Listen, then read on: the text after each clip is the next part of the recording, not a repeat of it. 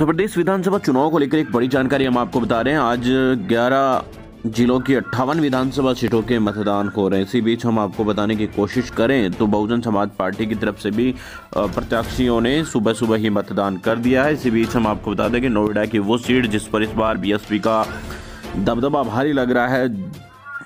दादरी विधानसभा सीट से बीएसपी के प्रत्याशी मनवीर भाटी ने आपको बता दें कि अपना मतदान किया है। मतदान करने के बाद उन्होंने युवाओं से अपील की कि वो भी ज़्यादा से ज़्यादा मतदान करें और जो शासनकाल में जित जो कुछ भी घटा है, उसका बदला लेने के लिए वोट ही सब कुछ ताकत है। प्रथम चरण के लिए आज मतदान की उन्होंने अपील की।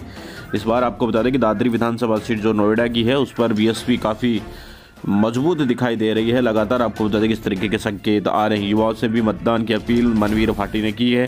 किसान नेता रहे मनवीर भाटी। बीएसपी अध्यक्ष सुप्रीमो मायावती जी ने उन्हें टिकट देकर मैदान में उतारा है। प्रथम चरण के लिए मतदान बीएसपी की तरफ़ से किया गया है। बीएसपी प्रत्याशी मनवीर भाटी ने किया मतदान।